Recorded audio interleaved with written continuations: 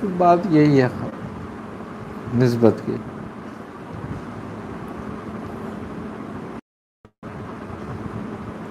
आई ना समझ अब जो नस्बत रखता है, वो कोई चीज़ पोशीदा नहीं रखता। ज़ाहिर सी बात है, जब वो कोई विरद वज़ाइफ करना चाहे तो इजाज़त दे तो उसमें क्या बुराई की बात है उसकी?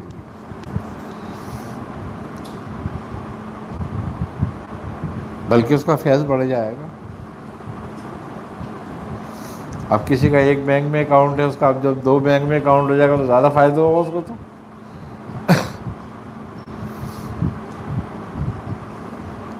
ये बात है।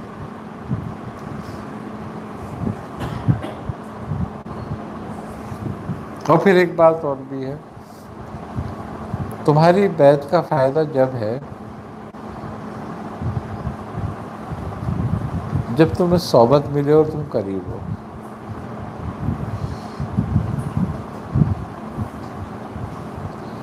वरना तुम्हारी बैत का फ़ायदा कुछ नहीं होता।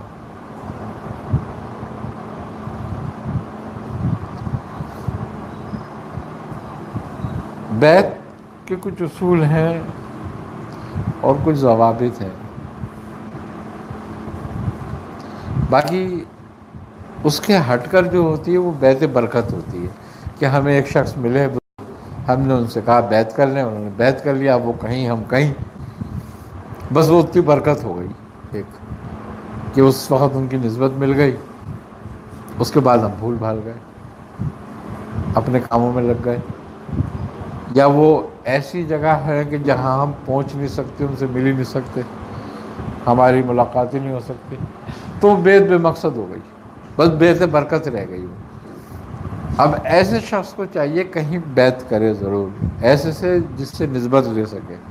जिससे बरकत ले सके, जिसके साथ बैठ सके। हैं? सोबत इख्तियार कर सके।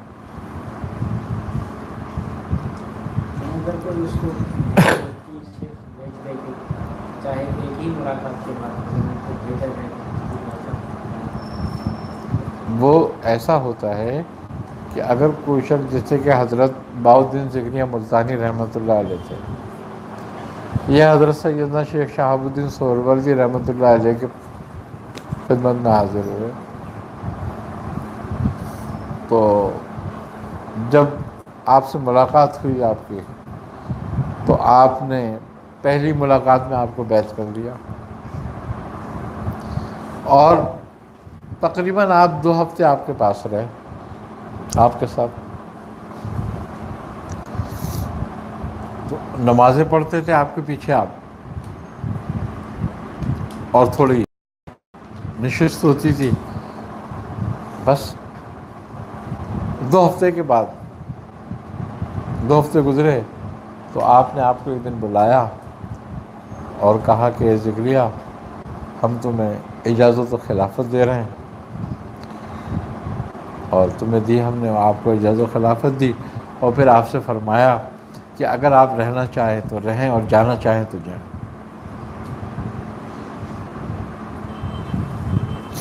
आपने फरमाया है कि अच्छा ठीक है।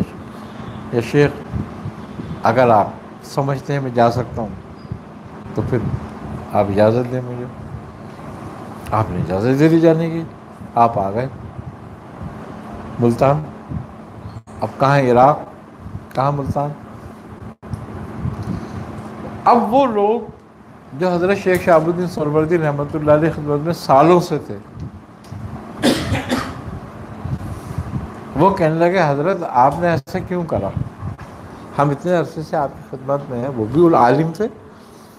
हम आपकी खिदमत इतने अरसे से हैं, मगर आपने बहुद्दीन को दो हफ़्ते में इजाज़त खिलाफत दी और फिर भेज दिया, उनको मुल्तान। आपने फरमाया, ये देखो कि अगर एक चराग हो, चराग में तेल हो और उसमें बत्ती पड़ी हुई हो,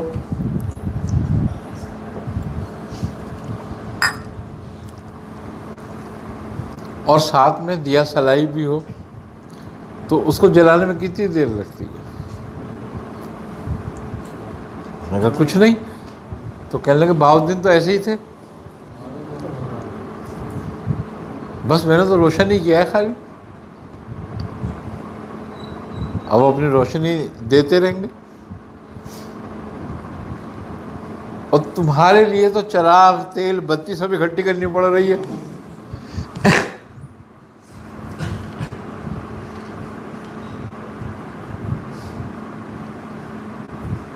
तो ये भी बात है। अब वो तो शेख की मर्ज़ी पर है, वो कितने दिन रखता है अपने पास?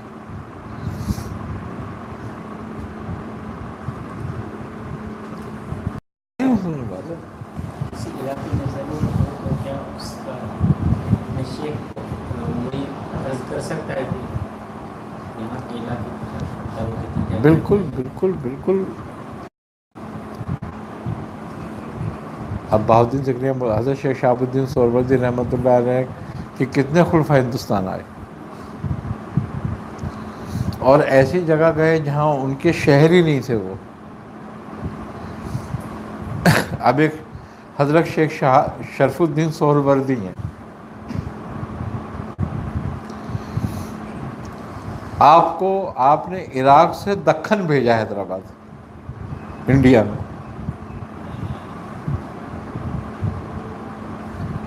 तो उस वक्त पूरा दखन हिंदुओं के पास था। एक भी मस्जिद पूरे दखन में नहीं थी। जब आप आए और आपने पूरे दखन को इस्लामाबाद बना दिया।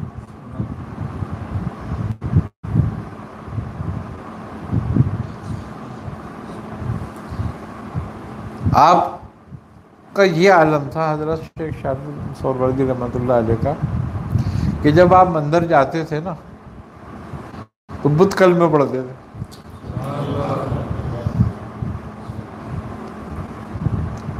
ये तसरुफ आपको आता था कि बुद्ध आपको देख के कलमा पढ़ते थे। तो बेहद मुसलमान हुए वहाँ पर फिर लोग, आपकी वजह से।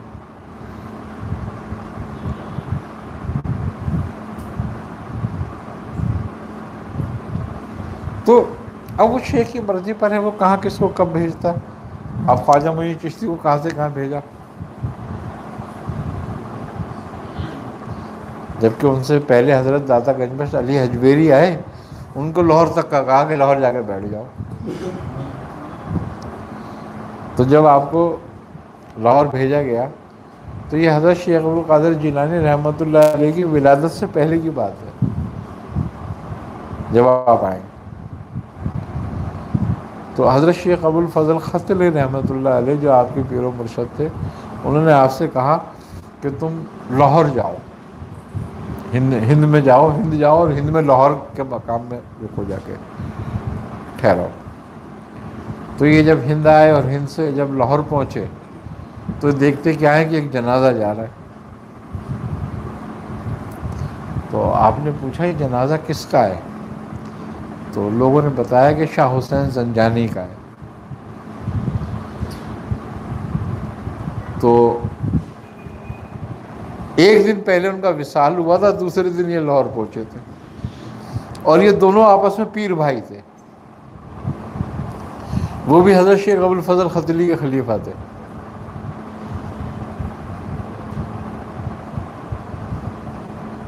आपको लाहौर में बैठा दिया। अगर आप चाहते हो तो आपको कहते हिंदुस्तान जाना।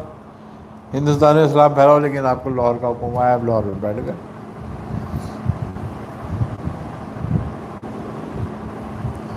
आपके विशाल के बाद आपका मज़ार शरीफ बन गया तो ख्वाजा मुही चिश्ती आए थे।